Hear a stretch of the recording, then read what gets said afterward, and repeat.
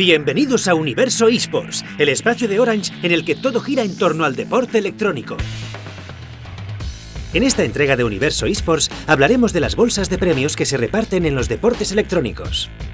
Conoceremos a los españoles que más han recaudado vía torneos. Y aprenderemos de dónde sale el dinero destinado a los premios.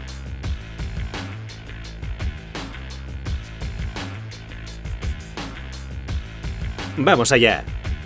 Uno de los elementos de los deportes electrónicos que más llama la atención de los medios de comunicación es la bolsa de premios de un torneo. Todavía es raro que se publiquen los salarios de los jugadores, por lo que el reclamo pasa a ser el bote que aspiran a ganar. En la actualidad, las desarrolladoras y organizadoras de eventos plantean dos grandes políticas respecto a las bolsas de premios. Históricamente, Riot Games ha preferido fijar salarios base más altos en lugar de premios delirantes. Su idea ayuda a que la media de ingresos de los jugadores de League of Legends sea mayor, pero reduce los incentivos para llevarse el trofeo. La otra cara de la moneda es Valve, responsable de Counter-Strike Global Offensive y Dota 2, que apuesta por destinar una mayor cantidad de dinero a la bolsa de premios. Así, atrae a la prensa y recompensa más a los equipos que triunfan, pero perjudica a aquellos que no rinden.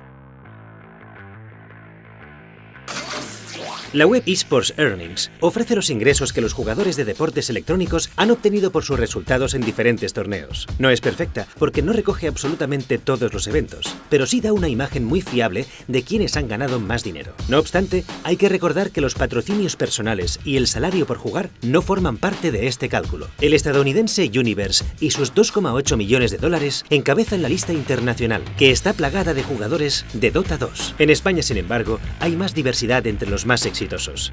y Mixwell lideran la tabla nacional. Apenas 5.000 dólares separan al jugador del League of Legends del de CSGO. En tercera posición se encuentra XPeque, mientras que los hermanos Moreno Durán representan a StarCraft 2 para cerrar el top 5.